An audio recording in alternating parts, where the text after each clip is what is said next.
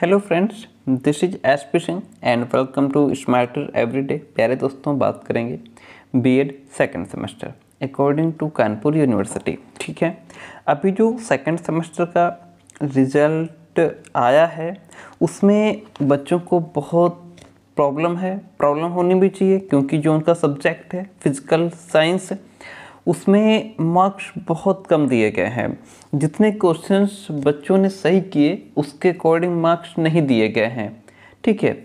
और तो अभी आपके ढेर सारे कमेंट्स हैं कि सर हम अपनी कॉपी कैसे रीचेक कराएँ, या हमारे मार्क्स कैसे बढ़ेंगे, या हम बैक पेपर फॉर्म डालें, क्या करें, क्या ना करें।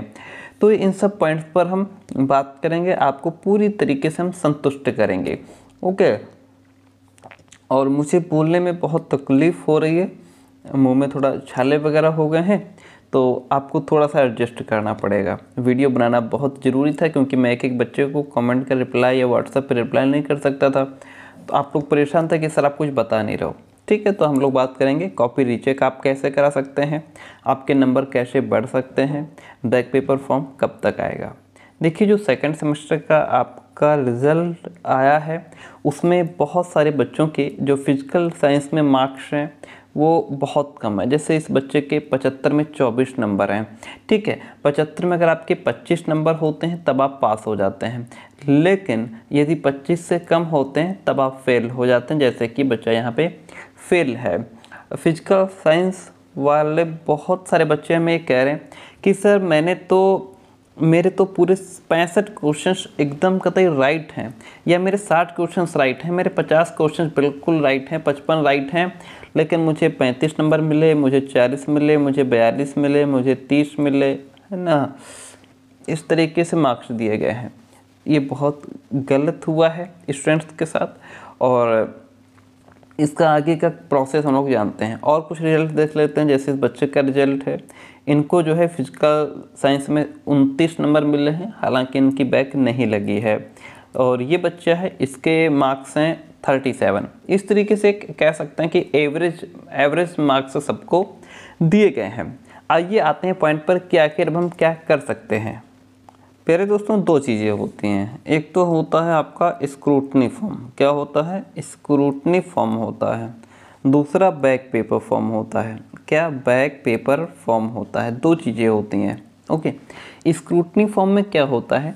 कि यदि आप अपने, आपका जो रिज़ल्ट आया है, यदि आप उससे संतुष्ट नहीं हैं, आप किसी सब्जेक्ट की कॉपी को चेक कराना चाहते हैं। किसी सब्जेक्ट की कॉपी को यदि आप रीचेक कराना चाहते हैं तो आप स्क्रूटनी फॉर्म डाल सकते हैं।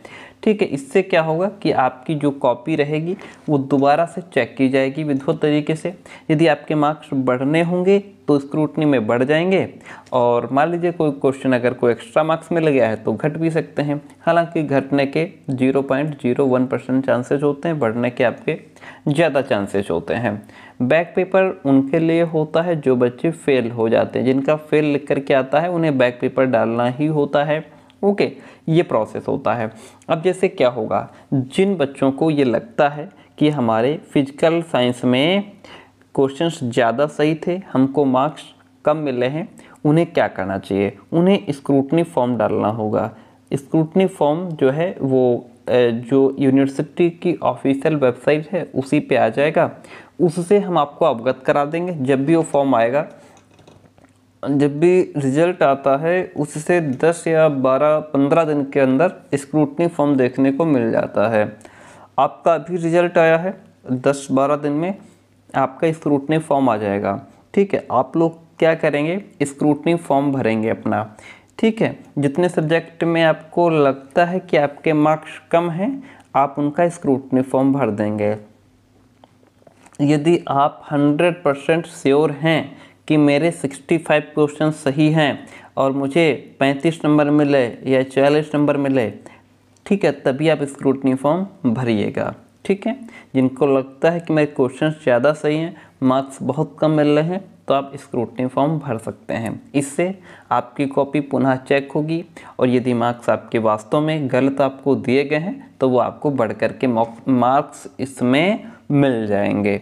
ये होता है आपका कॉपी रीचेक कराने का प्रोसेस अब जो स्क्रूटनी फॉर्म आएगा, वो हम जैसे ही आएगा, हम वीडियो बना करके आपको बता देंगे और वो फॉर्म आप अपने फ़ोन से भी फिल कर सकते हैं या कैफ़े पे जा कर के फॉर्म फिल कर सकते हैं। कहीं से भी करवा सकते हैं, ठीक है? उस फॉर्म को फिल करवा दीजिएगा। फ़ीस उसके लिए कुछ आपको देनी होगी, वो फ़ीस आप पे कर दीजिएगा। अब अगर बात आती है बैक पेपर की। तो जिन बच्चों का फेल के आ रहा है, उन्हें बैक पेपर डालना होगा। बैक पेपर डालने का मतलब ये है कि जब आप बैक पेपर डाल देते हैं तो आपको दोबारा से उसी सब्जेक्ट का पेपर देना होता है। पेपर कब होगा, कहाँ होगा? पेपर जो जो बच्चे अब फ़र्स्ट सेमेस्टर में एडमिशन ले रहे हैं, जब उनका सेकंड सेमेस्टर होगा तो जिस दिन उनका पेपर होगा, उसी दिन आपका भी पेपर होगा। ठीक है? उनके साथ ही पेपर होगा।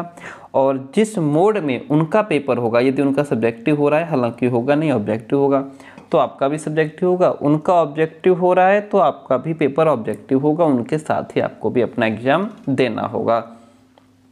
ये होता है बैक पेपर अब जैसे कि मेन प्रॉब्लम यहाँ पे बच्चों को फ़िज़िकल साइंस में आ रही है तो फ़िज़िकल साइंस वाले बच्चे अपना स्क्रूटनी फॉर्म भी डाल सकते हैं।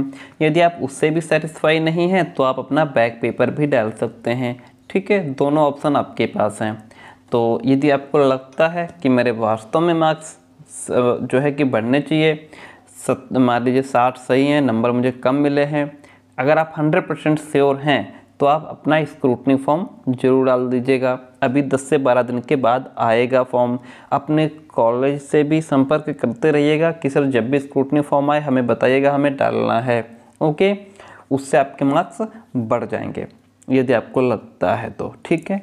बैक पेपर, जिन बच्चों का फेल लिख के आ रहा है, वो अपना बैक पेपर डाल करके दोबारा एग्ज़ाम दे सकते हैं। ये इसका कंप्लीट प्रोसेस है।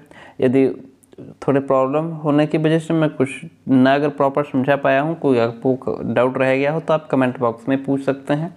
और थर्ड सेमेस्टर की क्लासेस चल रही हैं। पेड कंटेंट आप अगर लेना चाहें तो उसके लिए आप हमें इस नंबर पर nine six two eight one eight two six four nine इस नंबर पे व्हाट्सअप मैसेज करके नोट्स की इन्फॉर्मेशन आप ले सकते हैं और अपनी पढ़ाई शुरू कर सकते हैं।